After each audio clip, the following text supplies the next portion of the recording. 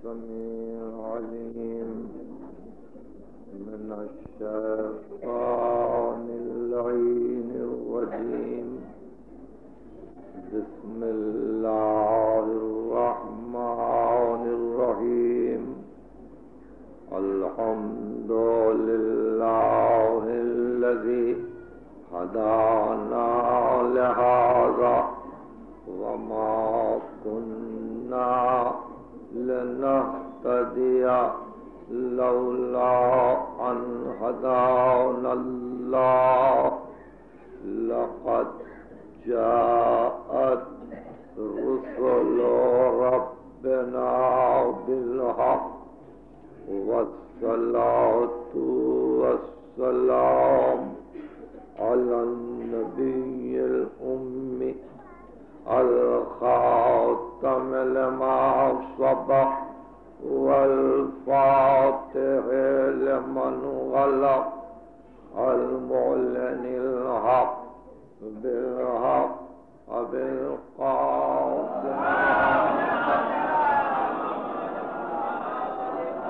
وأهل بيت الطيبين الطاهرين المعصومين المظلومين الذين أذهب الله عنهم الرجس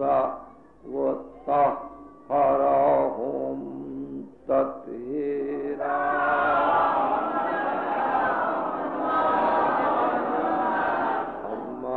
بعد فقد قال الله سبحانه وتعالى في محكم كتابه الحكيم.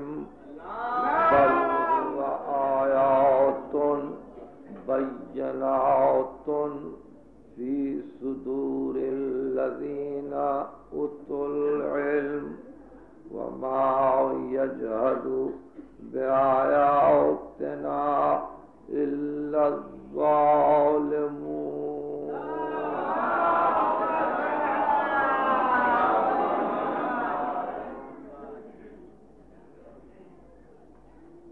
اس امام بارگاہ کی یہ پانچویں اور آخری تقریر ہے۔ علم و یقین کے عنوان پر مسلسل کوشش کی گئی کہ سیر حاصل تبصرہ ہو سکے۔ مگر یہ دریائے مانی کچھ لمحوں میں، کچھ دقیقوں میں کیسے سمیٹا جا سکتا تھا، اس کو کس طرح سے کوزے میں سمویا جا سکتا تھا، یہ خود میرے لیے مقام حیرت ہے۔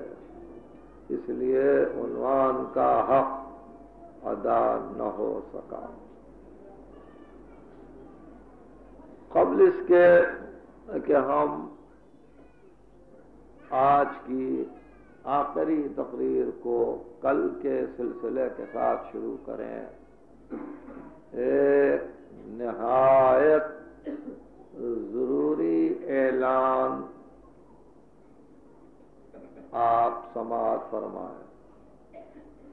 اور وہ یہ کہ میں نے گزشتہ اتوار کو مرکزی امام بارگاہ میں یہ کہا تھا کہ اب جتنے اتوار آئیں گے، بعض مسائل کے پیش نظر صبح کی مجلسیں مرکزی امام بارگاہ میں ہوا کریں گی ہر اتوار کو۔ لیکن ایک اہم تبدیلی ہوئی ہے اور وہ تبدیلی یہ ہے کہ کل صبح ٹھیک ساڑھے نو بجے آپ سب حضرات ایرانیان پہنچ جائیں۔ میں ایک اہم مسئلے پر تقریر کر رہا ہوں۔ ہوگی تو مجلس، مگر چونکہ کارپوریشن نے ایرانیان کو نوٹس دی ہے کہ اس کو توڑ دیا جائے، اس سلسلے میں میں کچھ اہم انکشافات کرنا چاہتا ہوں۔ اور مجھے اس عمر کا حق ہے کہ میں قوم سے یہ اپیل کروں کہ اس کے ذمہ دار افراد نمائندگی کریں ایرانیان کی مجلس میں۔ ساڑھے نو بجے ہمارے دوست استاد معشوق علی خان صاحب سوسخانی شروع کریں گے۔ ٹھیک دس بجے میں تقریر شروع کروں گا۔ یہ تقریر ریلے نہیں ہوگی۔ اس لیے جہاں جہاں اس وقت آواز میری جا رہی ہے وہ اپنے نمائندہ احباب کو ایرانیان بھیجنے کی کوشش کریں تاکہ معلوم ہو کہ میں کیا کہنا چاہتا ہوں۔ صلوات۔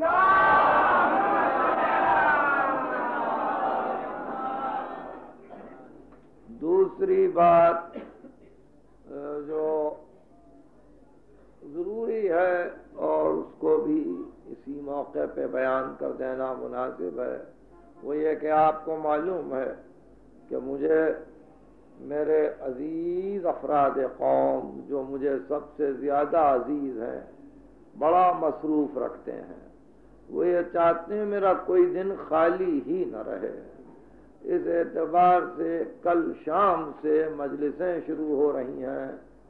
مسجد اسنا شری لیاقت آباد۔ میں یہ مجلسیں دس دن مسلسل ہوں گی۔ پانچ دن تک مجلسیں جیٹا گوکل ٹرسٹ کی طرف سے ہیں اور اس کے بعد کی پانچ مجلسیں مسجد اسناشری کے ارکان انتظامی کی طرف سے ہیں۔ یہ مجلسیں مستقل طور پر ریلے ہوں گی۔ جہاں جہاں آپ عادتاً سن رہے ہیں، سنیں گے۔ عنوان چونکہ اسی سلسلے کے ساتھ آگے بڑھ رہا ہے، جہاں سے میں نے رضویہ امام بارگاہ میں تقریروں کو شروع کیا تھا۔ اس لیے اب علم و یقین کے بعد پھر ان الفاظ کو نہیں دہراؤں گا، بلکہ دو لفظ پھر نئے آ گئے۔ محکم و متشابہ کے عنوان پر ہم اس ناشری میں تقریر کریں۔ گے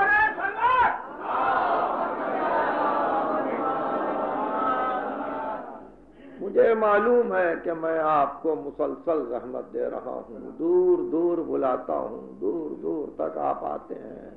مگر اس میں یہ نہیں ہے کہ میں کوئی ایک طرفہ فائدہ چاہتا ہوں کہ آپ مجھے سنیں اور نارہ تحسین سے آپ مجھے میرے بیان کو قبول کریں۔ نہیں، میرا مقصد نگاہ یہ ہے کہ قوم کی فکر کا انداز بدل جائے، سوچنے کے طریقے بدل جائیں آپ کے لیے علم کی نئی راہیں کھل جائیں۔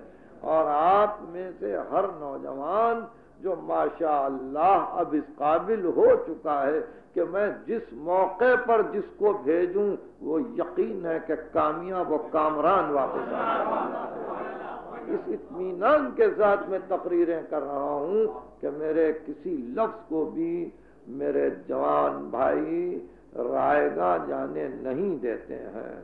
کل میں کہہ رہا تھا کہ قلیل سے قلیل امر کو یہ سمجھ کر نظر انداز نہ کرو کہ اس میں دھرا کیا ہے۔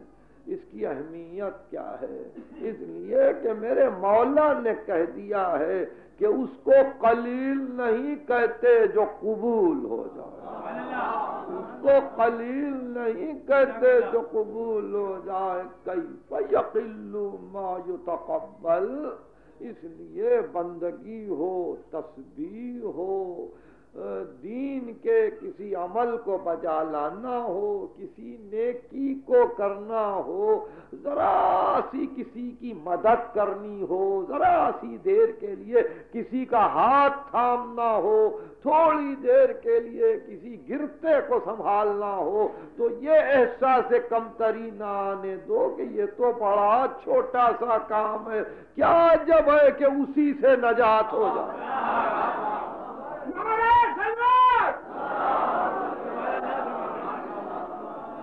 اس لیے یہ میرا پیغام ہے کہ حق میں نہ شرماؤ۔ یہ ذرا سی بات ہے، میں کیا کروں، میں کیسے دوں؟ میرا دل کیسے قبول کرے گا کہ اتنی ذرا سی نیکی کسی کے لیے کروں؟ نہیں، آپ کا حق نہیں ہے یہ دیکھنے کا کہ آپ وہ ذرا سی نیکی کر رہے ہیں یا زیادہ کر رہے ہیں۔ وہ تو دیکھنے والا سمجھتا ہے کہ کس استطاعت کے ساتھ کون کتنی نیکی کر رہا ہے۔ علماء نے ایک عجیب واقعہ لکھا اور شہادت حسین ابن علی کے سلسلے میں یہ واقعہ آیا۔ سن لیجیے، میں کبھی کہہ چکا ہوں، برسوں کے بعد پھر دوہرا رہا ہوں۔ بات یاد آ گئی۔ ایک عالم بحث کر رہا تھا کہ حسین کی شہادت کے بعد خدا بند عالم حسین کو کیا دے گا۔ شہادت حسین کے بعد خدا حسین کو کیا دے گا؟ بحث کرتے ہوئے لکھا کہ ایک واقعہ یہ ہے کہ ایک بادشاہ شکار کے لیے نکلا، اس نے راستے کو بھول کر اپنے آپ کو صحرا میں تنہا پایا، لشکر سے دور ہو کر جب اس کی حیرانی بڑھ گئی، شدت تشنگی، وہ گرسنگی سے مرنے کے قریب ہوا، دور سے دیکھا کہ صحرا میں ایک جھونپڑی ہے، وہاں پہنچا تو دیکھا کہ ایک بہت ہی غریب سا آدمی، بہت غریب سا آدمی، ایک زن ضعیفہ کے ساتھ وہاں ہے اور اس نے دیکھا کہ ایک انسان آیا ہے، کہا کہ دیکھو میں بہت گرسنا ہوں، بہت پیاسا بھی ہوں۔ اس نے کہا کہ حاضر ہے، تشریف لائیں، میرے پاس کچھ نہیں ہے، یہ بکری ہے۔ اس نے بکری کو ذبح کیا، اس کا گوشت اس کو کھلا دیا، کچھ دودھ رکھا ہوا تھا، اس نے پلا دیا۔ اس نے جاتے جاتے کہا کہ دیکھو، اگر کسی بات کی ضرورت ہو تو یہ انگوٹھی لے کے میرے پاس چلے آنا۔ اتنے میں فوج آ گئی۔ فوج نے بادشاہ کو لے کے وہ راستہ اختیار کیا، مملکت کا اپنی۔ اس وہ عالم لکھتے ہیں کہ کچھ دنوں کے بعد اس کی بیوی نے کہا کہ ہماری فلاکت کی حد ہو گئی ہے، چلو اب واپس جائیں اور اس کا پتہ اٹھائیں۔ اس شہر میں جا کے انگوٹھی بتائی، معلوم ہوا پادشاہ کی انگوٹھی ہے۔ پادشاہ کے پاس پہنچا تو پادشاہ نے کہا، اہل دربار، بتاؤ سلا کیا دوں؟ سلا کیا دوں؟ کسی نے کہا، جاگیر دے دیجیے۔ کسی نے کہا، منصب کر دیجیے۔ کسی نے کہا، یہ دے دیجیے۔ کہا کہ نہیں، سلا استطاعت پر ہے۔ یہ نہیں جانتا تھا کہ میں بادشاہ ہوں۔ جو کچھ تھا، جو بزاعت تھی، اس نے لٹا دی۔ اب سلا تو یہ ہے، جو میری وضاحت ہے، میں لٹا دوں۔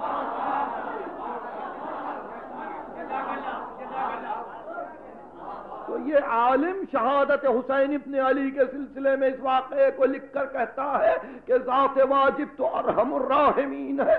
جب حسین نے اپنی ساری کائنات ذات واجب کی بارگاہ میں صرف کر دی تو تقاضا یہ ہے کہ اتنی عطا حسین کو ملے، اتنی عطا حسین کو ملے کہ کائنات میں ایسی دولت پھر کسی کو نہ ملے۔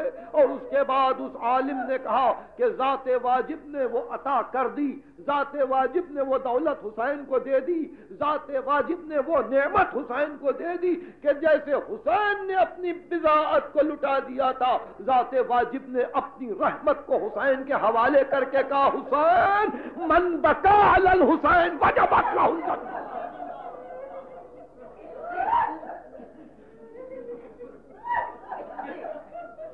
آپ نے دیکھا یہ دین ہے۔ یہ دین ہے۔ اس لیے ایک ایک آنسو کو بھی غنیمت جاؤ قلیل ہے اگرچہ آنسو۔ بہت قلیل ہے۔ لیکن اس دولت کا کوئی اندازہ نہیں کر سکتا۔ اس دولت کا کوئی اندازہ نہیں کر سکتا۔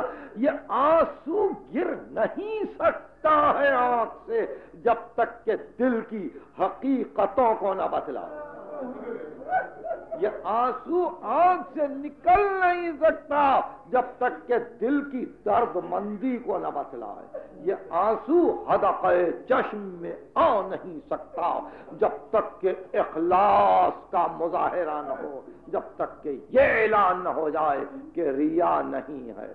اس میں کوئی آمیزش نہیں ہے۔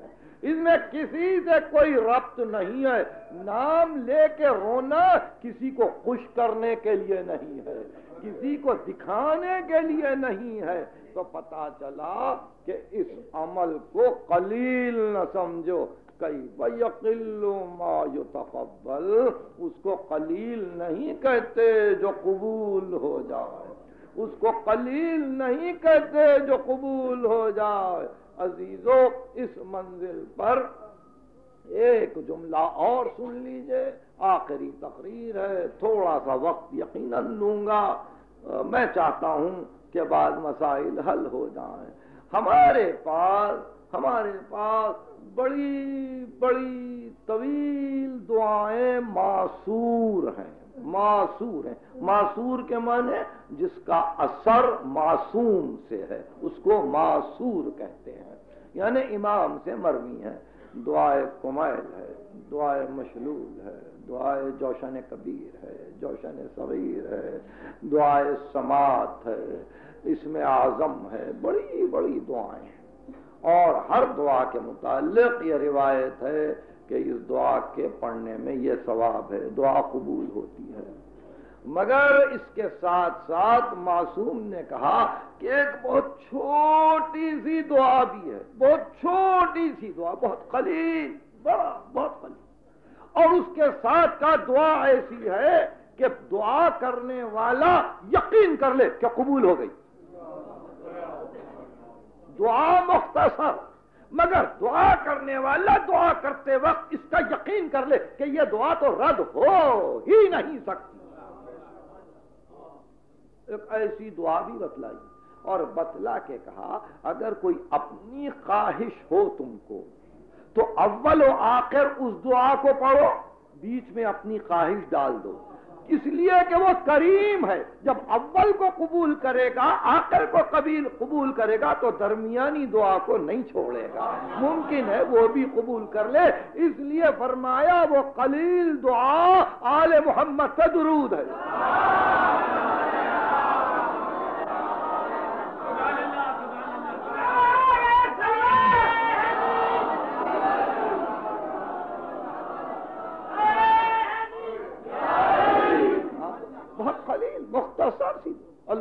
اللہم صلی اللہ محمد و آل محمد، پروردگار رحمت نازل کر۔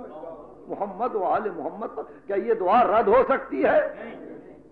نہیں ہو سکتی۔ تو اس کے معنی یہ آپ نے دیکھے کہ بہت مختصر تھی دعا، بڑی قلیل تھی دعا، مگر دل کو کتنا یقین کتنا یقین کہ میں گنہگار ہوں، میں آسی ہوں میں قطع کار ہوں، میں معصیت کوش ہوں، میں کوتاہیوں میں مبتلا ہوں، میرے جرائم صحیح، میں زبان اس قابل نہیں رکھتا ہوں کہ اس زبان سے کچھ مانگوں اور مل جائے اللہ اس دعا کے، کہ جیسے دعا کی دل نے کہا گھبرانا نہیں، یہ دعا تو کہیں سے بھی رد نہیں ہو سکتی ہے۔ یہ کہیں سے بھی رد نہیں ہو سکتی ہے۔ ملائکہ سنتے ہیں تو سر جھکا کے دعا کو لے جاتے ہیں۔ اور ادھر جب دعا جاتی ہے تو آواز آتی ہے، قبول قبول، قیامت تک دعا کرتے جاؤ، یہ دعا قبول ہوتے جائے گی۔ اس لیے کہ محمد وال محمد کا احسان ہے اسلام پر، اس احسان کا بدلہ یہ شکریہ ہے۔ اللہ صلی اللہ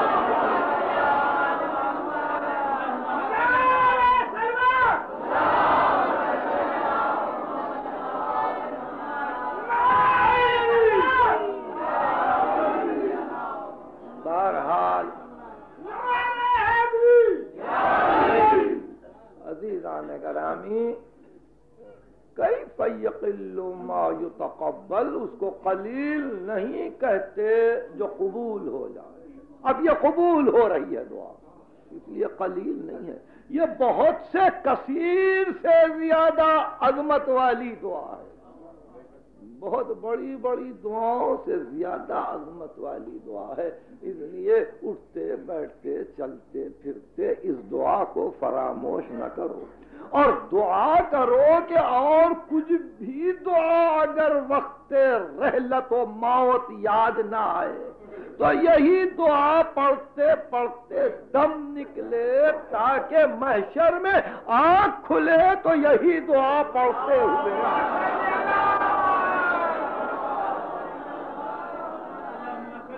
میں سمجھتا ہوں کہ آپ نے مسائل پر غور کیا۔ اب سلسلہ کلام چونکہ سمجھ میں آپ کے آ گیا کہ قلیل و کثیر کی ایک اہم بحث چھڑی ہوئی تھی اور اس میں ہزاروں امثلہ موجود تھے، لیکن وقت کی کوتاہی کی وجہ سے میں ان مثالوں کو آپ کے دماغ سے لینا چاہتا ہوں۔ کہ کبھی تنہائی میں آپ بھی سوچتے جائیں کہ کتنی چھوٹی چھوٹی باتیں ہوتی ہیں جو بہت کثیر باتوں سے زیادہ ویلیویبل ہوتی ہیں قیمتی ہوتی ہیں، قدر زیادہ ہوتی ہے۔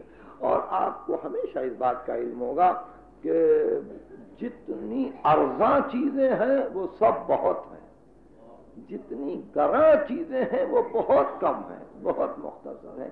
یہ دنیا کے بازار کا بھی یہی حال ہے کہ جس کی قیمت زیادہ ہے وہ بہت کم ہے، بہت کم، بہت اور جو چیز بہت ہے وہ بہت سستی بھی ہے، بہت سستی بھی ہے۔ تو ہم کو تو بارگاہ رب العزت میں اگر پیش کرنا ہے تو گرا قیمت چیزوں کو پیش کرنا ہے۔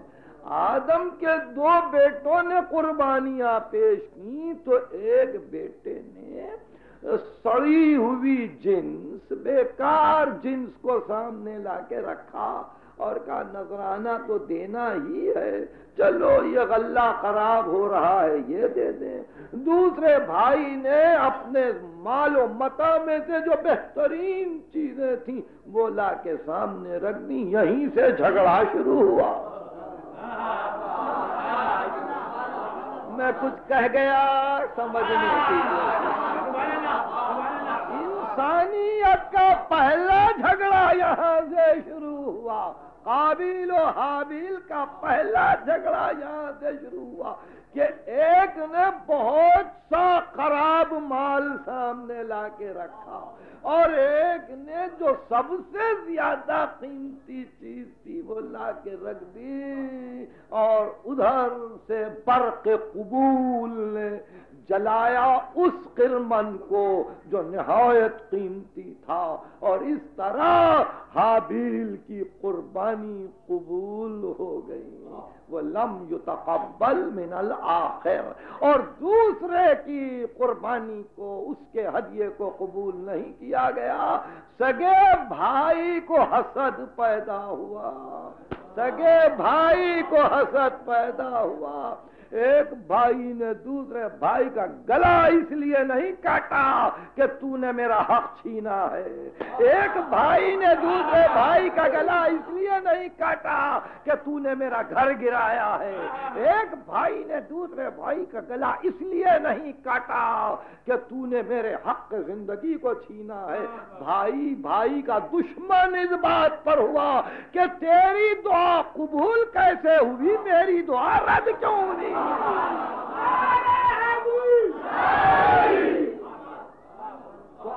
آپ سمجھ رہے آدم کی اولاد اب بھی ہے نا؟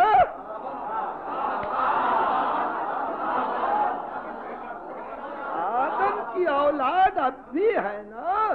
تو یہاں یہاں جو اس وقت زندگی میں رشک و حسد پیدا ہے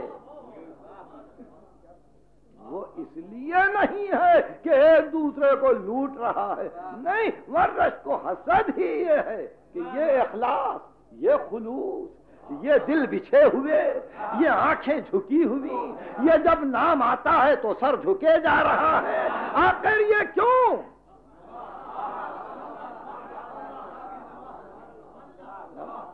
وہ حابیلیت و قابلیت قیامت تک جاری ہے۔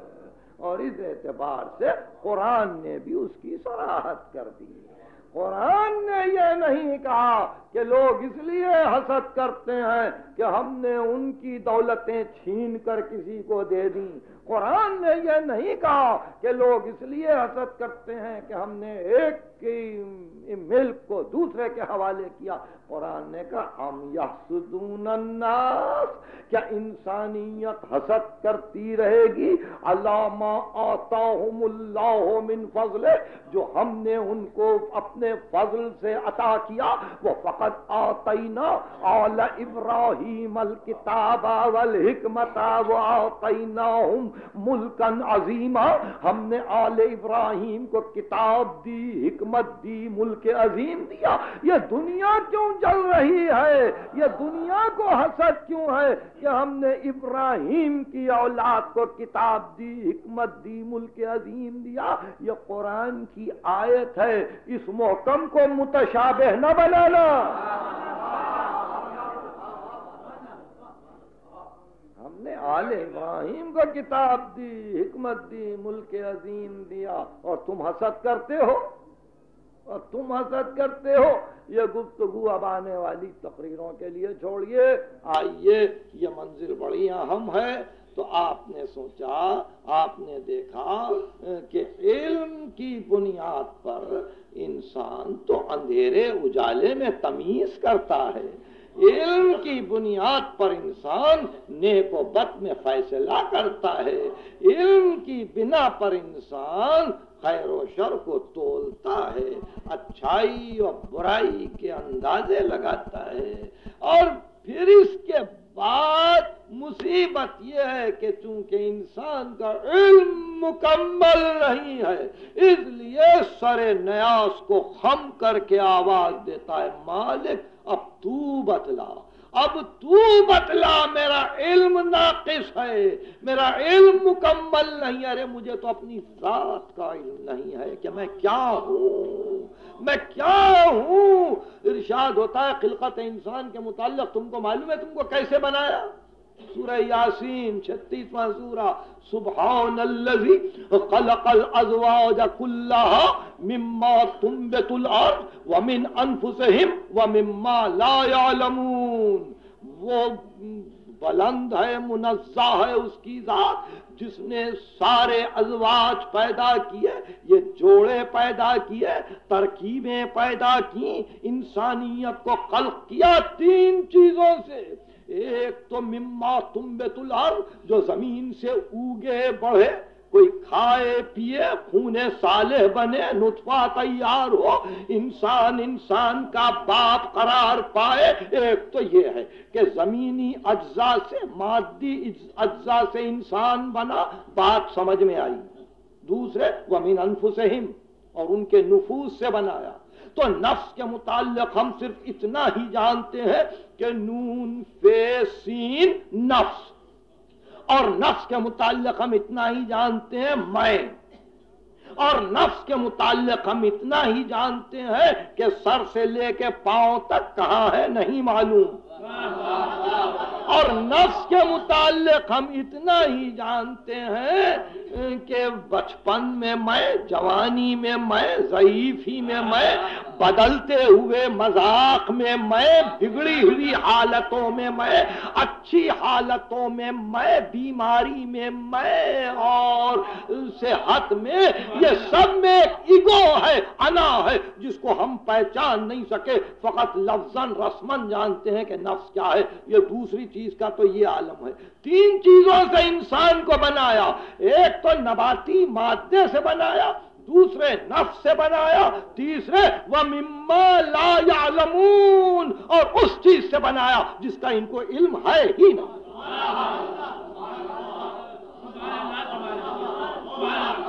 انسان کو بنایا تین چیزوں سے سبحان الذي خلق الازواج كلها مما تنبت الارض ومن انفسهم ومما لا يعلمون تو وہ نباتی مادہ تو سمجھ میں کچھ آیا کہ یہ ترکاری ہے، یہ پھول ہے یہ پھل ہے یہ غذا ہے، یہ زمینی غذا ہے، یہ کچھ ہوا ہے، یہ کلائمیٹک کنڈیشنز ہیں، یہ پانی ہے یہ باتیں تو سمجھ میں آئی نفس سمجھ میں نہیں آیا۔ نفس سمجھ میں آیا تو اتنا سمجھ میں آیا کہ میں ہوں۔ میں ہوں، مگر پلٹ کے جب پوچھے کہ یہ میں یہ میں، وہ کون سا میں ہے؟ کلو نفسن ذائقت الموت۔ یہ نفس کو مزہ چکنا ہے، موت کا نفس۔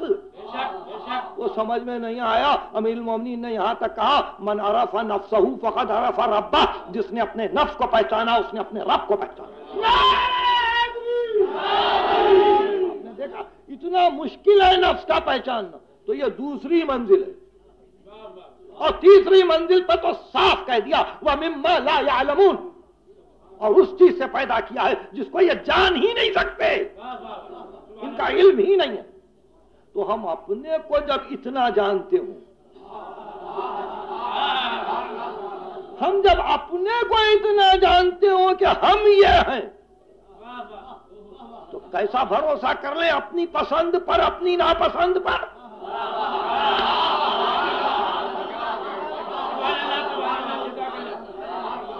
ہم کو اپنی معرفت نہیں ہے تو بھروسہ کیسا کر لیں اپنی پسند و ناپسند پر کہ جو میری پسند ہے وہی درست ہے، جو مجھے ناپسند ہے وہی غلط ہے۔ کیسا فیصلہ کریں؟ آپ کو خود اپنا علم نہیں ہے۔ اس لیے سورہ بقرہ میں رشاد ہوا، آسان تکرہ شیئن وہ ہوا خیر لکم وہ آسان تو ہبو شیئن وہ ہوا شر لکم، واللہ یعلم وانتم لا تعلمون۔ بہت سی ایسی چیزیں ہیں جو تم کو پسند نہیں ہے جس سے تم کراہت کرتے ہو۔ آسان تک رہو شیئن وہ ہوا خیر لکم، مگر وہی تمہارے لیے بہتر ہے۔ تم پسند نہیں کرتے ہو، مگر وہی بہتر ہے۔ وہ آسان تو ہبو شیئن، بہت سی چیزوں کو تم دوست رکھتے ہو۔ وہ ہوا شر لکم، وہ تمہارے لیے شر ہے۔ وہ شر ہے۔ اس لیے تم اپنی پسند و ناپسند پہ کیوں بھروسہ کرتے ہو؟ اس لیے کہ اللہ ہو یا علم ہو وہ تم لا تعلمون۔ علم اللہ کو ہے، تم کو نہیں ہے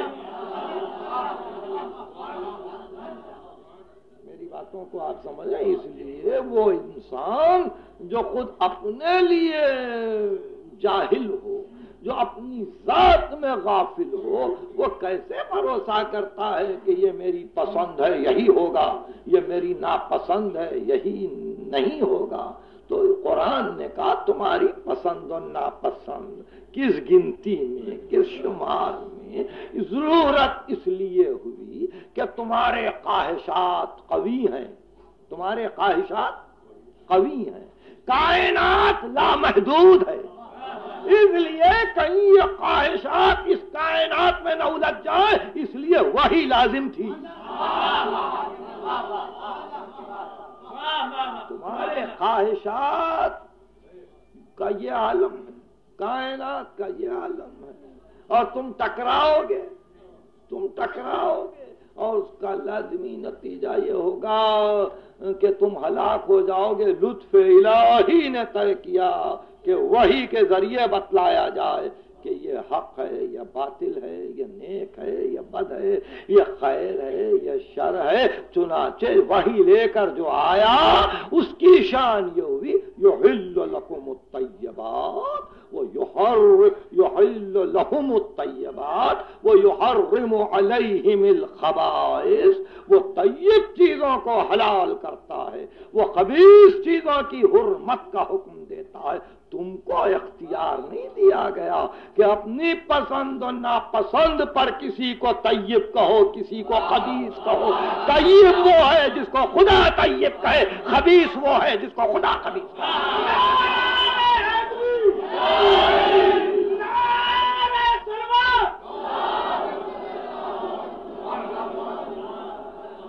تو ہم یہ سورہ بقرہ سے آیت پڑھ رہے تھے، یہ ہمیشہ پیش نظر رہے قرآن کی تلاوت کے وقت کہ بہت سی چیزوں کو تم کراہت سے دیکھتے ہو، وہی تمہارے لیے بہتر ہے۔ بہت سی چیزوں کو تم چاہتے ہو، محبت کرتے ہو۔ وہی تمہارے لیے بری ہے بری ہے۔ اللہ جانتا ہے، تم نہیں جانتے ہو۔ ایک بات یاد رکھو، میں جس بحث کو پیش کر رہا ہوں، اس میں جب علم پہ گفتگو آئی تو قرآن مجید نے بیس مقام پر بیس مقام پر قطعیت کے ساتھ کہا، وہ اکثر لا يعلمون ان کی اکثریت بے علم ہے۔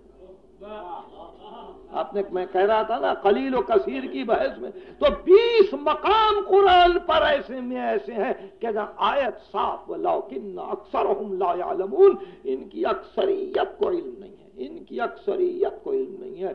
سورہ جاسیہ میں ارشاد ہوا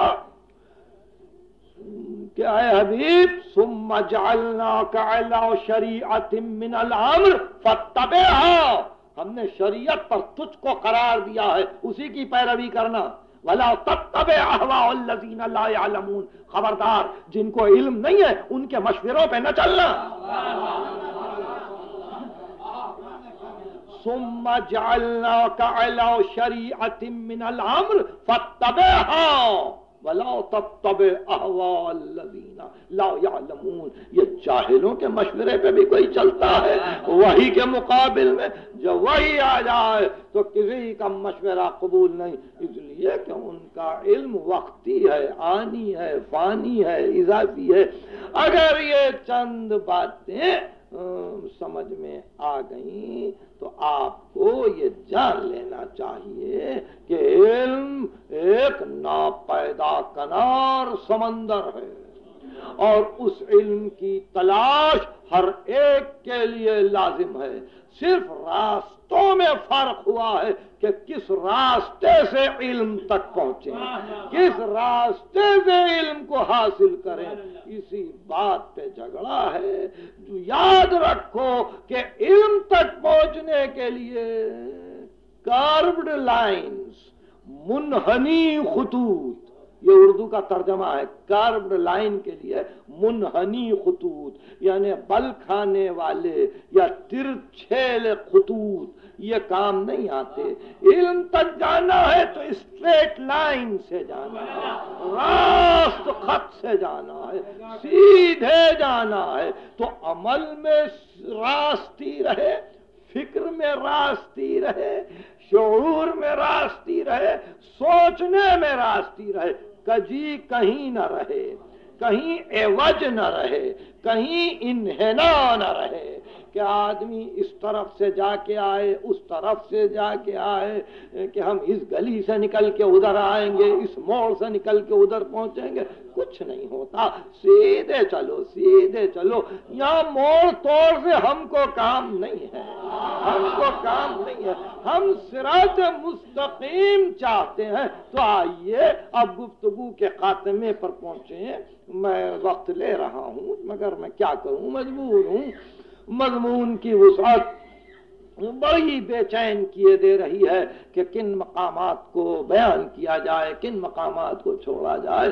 تو علم کا کام کیا ہے؟ علم کا کام کیا ہے؟ علم کا کام یہ ہے کہ علم چراغ جلائے۔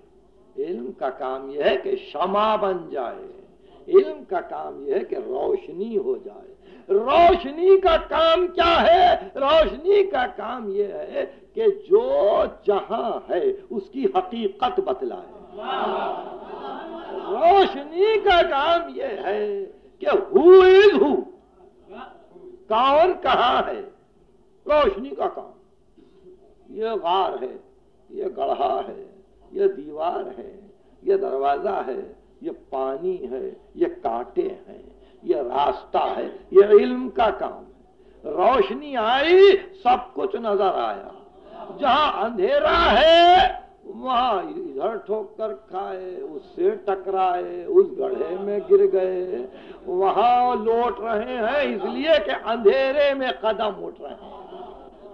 تو روشنی جب آ جاتی ہے، تو انسان تمیز کرتا ہے۔ بہت غور سے سنیے، میں بڑے اہم مسائل پہ جا رہا ہوں۔ تمیز کرتا ہے۔ قرآن کیا کہتا ہے؟ قرآن کہتا ہے حل يستوي الذين يعلمون والذين لا يعلمون سورہ زمر کلام مجید کا 39 چیپٹر، انچالیسواں سورہ۔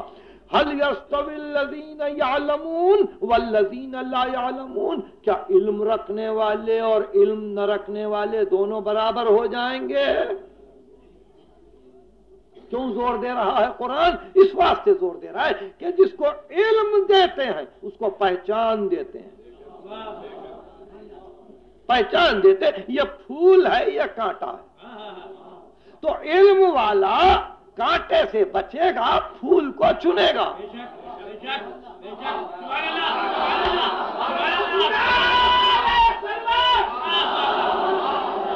علم رکھنے والا گڑھے سے ہٹے گا، سیدھا راستہ چلے گا۔ جان کر کوئی گڑھے میں تو نہیں گرتا، جان کر تو کوئی دیوار سے نہیں ٹکراتا، کوئی اندھا ہی ہوگا جو دیوار سے ٹکرا جائے۔ ورنہ علم آ جانے کے بعد آدمی کی کوشش تو یہ ہوتی ہے کہ جو بہتر ہے اس کو لے لے۔ جو پستر ہے اس کو چھوڑ دے اور بچے۔ دیکھیں، علم کا فیصلہ یہ میں بڑے اہم مسئلے پہ گفتگو کر رہا ہوں۔ یہ مسئلہ ہے جو اللہ میں ہلی سے آج تک زیر بحث ہے۔ آج تک زیر بحث ہے۔ اور بڑا عجیب مسئلہ، علم کا کام یہ ہے کہ بہتر کو لے لو۔ اب اس منزل پر ایک اور بات، بڑی اچھی بات۔ وہ یہ کہ قرآن مجید نے سورہ بقرہ کی ابتدائی آیتوں میں غالباً ایک سٹویں آیت ہے یہ سورہ بقرہ کی وہ ذللنا علیکم الغمام۔ اے قوم موسیٰ، جب تم چلتے تھے تو عبر سایہ کرتا تھا تاکہ آفتاب کی تمازت سے تم بچو، قوم بچے۔ سر پہ عبر چلتا تھا۔ وہ انزلنا علیکم المن والسلوہ اور تمہاری غذا کے لیے من و سلوا جنت سے آتے تھے۔ پوری پوری قوم کو ہم نے جنت کے کھانے کھلائے۔ پوری قوم کو ہم نے ابر کے سائے میں رکھا۔ جیو، پروان چڑھو، جنت کے کھانے کھاؤ۔ مگر تم نے کیا کیا؟ تم نے یہ کیا کہ تم نے آواز دی، یا نبی اللہ، ادعو لنا ربک، اپنے رب سے دعا کرو۔ کہ یخرج لنا کہ یہ زمین ہمارے لیے لائے۔ کیا کیا چیزیں لائے؟ من بقلہا و قصائہا و فومہا۔ وہ عدسہا وہ بسلہا۔ موسیٰ، لن نصبر علی طعام واحد۔ یا من و سلوا ہم کو پسند نہیں ہے۔ ہم تو بیزار ہو گئے، جنت کا کھانا کھاتے کھاتے۔ موسیٰ، پیاس چاہیے، لہسن چاہیے، ترکاری چاہیے، کھیرا ککڑی چاہیے، دالیں چاہیے۔ یہ قرآن ہے، یہ قرآن ہے کہ جنت کا میوہ جس قوم کو ملا ہے، تو اس قوم نے کفران نعمت کا کر کے لہسن اور پیاس پر اپنے آپ کو مائل کیا ہے تو قرآن نے کہا، اتستبدلون اللذی ہوا ادنا باللذی ہوا خیر کیا خیر کو چھوڑ کے ادنا کو لوگے؟ پتہ گفتگو ختم ہو گئی۔ یہ علم کا کام ہے کہ اگر یہ آلہ ہے یا ادنا ہے تو خبردار ادنا کو نہ دیکھنا آلہ کی طرف جانا۔ ممکن ہے کہ ہر موڑ پہ کوئی مجذوب بیٹھا ہو، مگر ہم کو ایک سے کام ہے اور وہ راہ علی ہے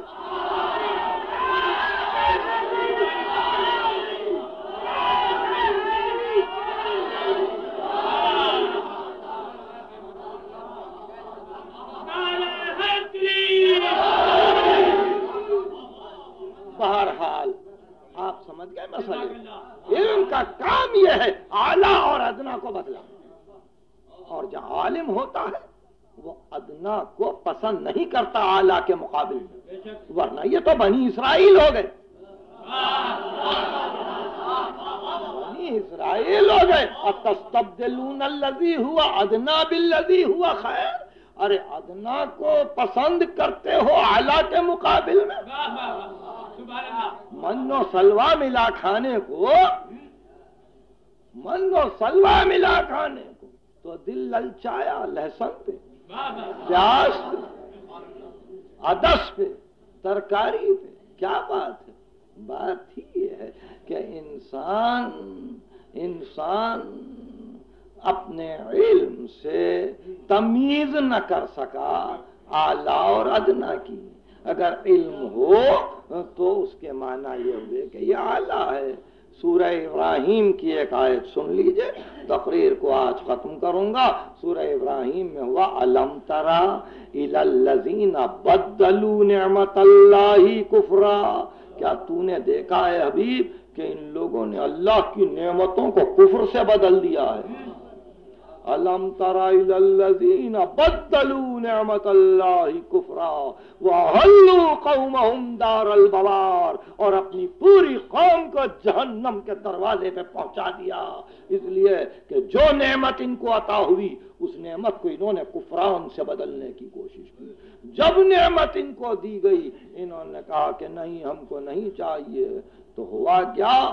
بنی اسرائیل کو عادت ہو گئی۔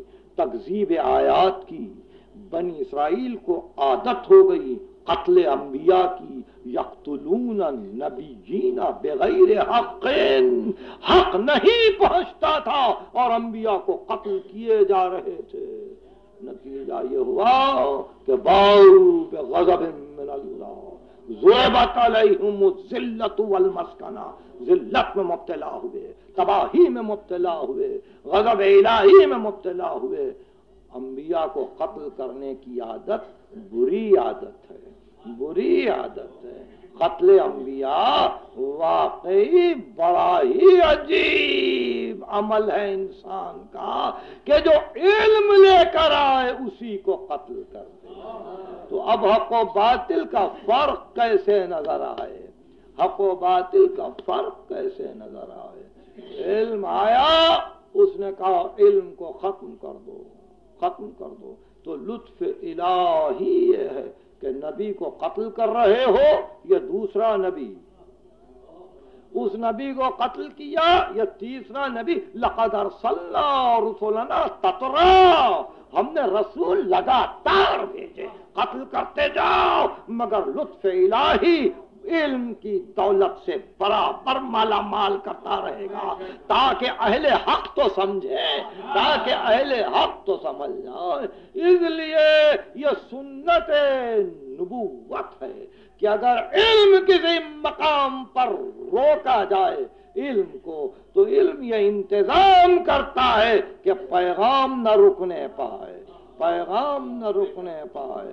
حق کو اگر چلتے ہوئے کوئی روک دے، تو حق وہی ہے جو یہ انتظام کر کے رکے کہ میں رکتا ہوں تو وہ آگے بڑھے۔ میں رکتا ہوں میں رکتا ہوں تو وہ آگے بڑھے۔ روکا روکا۔ حسین نے اپنی زندگی کو سجدے پر۔ روکا۔ حسین نے اپنی زندگی کو سجدے پر۔ اور یہ جان کے کہ یہاں اب مجھے آگے بڑھنے نہیں دیا جائے گا۔ تو حسین نے انتظام یہ کیا کہ کہیں علم رکنے نہ پائے، کہیں معرفت رکنے نہ پائے۔ ورنہ کل کے دن اگر کوئی شام والا یہ کہہ دیتا کہ ہم تو یزید ہی کو آل محمد سمجھ رہے تھے۔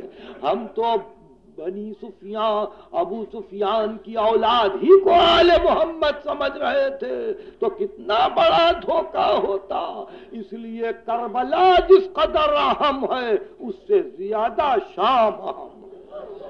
کربلا کا پیغام جتنا اہم ہے اس سے زیادہ شام کا دربار اہم ہے کہ شہزادی کے خطبے کے بعد پتا چلا کہ یزید آل محمد تو یہ ہے یہ جو قائد ہیں، اسیر ہیں۔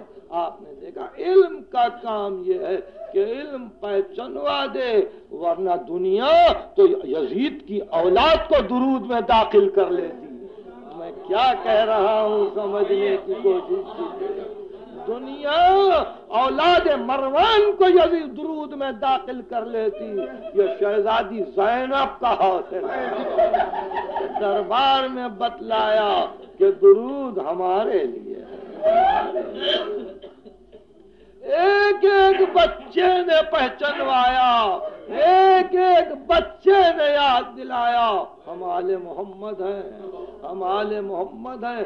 قید میں آئے، قید میں آئے اور قید میں کچھ اس طرح کی باتیں ہوئی کہ ارکان مملکت شام نے یزید سے کہا، یزید، بڑی عجیب بات ہے۔ یہ قید خانے میں کیسے قیدی آئے ہیں کہ ہمارے گھروں کی عورتیں صبح ہوتے ہی نہ پکاتی ہیں، نہ کھلاتی ہیں، نہ گھر کا کام کرتی ہیں، سب کے سب جا کے زندان کے اطراف بیٹھ جاتی ہیں۔ اور اے یزید، ایک چھوٹی سی بچی دروازے پر آ کر اپنی روداد بیان کرتی ہے۔ مجمع لگا ہوا ہے۔ قید خانے کے گرد پوری شام کی عورتیں جمع ہیں۔ صبح ہوئی، عورتیں آئیں۔ بی بی ابھی تک باہر نہیں آئی، شہزادی نہیں آئی۔ شہزادی آئی، سب عورتوں نے سلام کیا۔ ہاں بی بی اب سناؤ، آپ کس شہر کے رہنے والے ہو؟ بی بی آپ کا مدینے سے کیا تعلق ہے؟ بی بی آپ کا باپ آپ کو کتنا چاہتا تھا؟ بی بی آپ کے کتنے بھائی تھے؟ بی بی آپ کے چچا کا نام کیا تھا؟ وہ بچی بیان کرتی جاتی، شام کی عورتیں روتی جاتی، اسی طرح سے دن گزرتے، ایک دن صبح کو جب شام کی عورتیں آئیں اور اطراف قید خانے کے بیٹھ گئی تو بچی باہر نہیں آئی۔ بچی باہر نہیں آئی۔ شام کی عورتوں نے آواز دی آؤ بی بی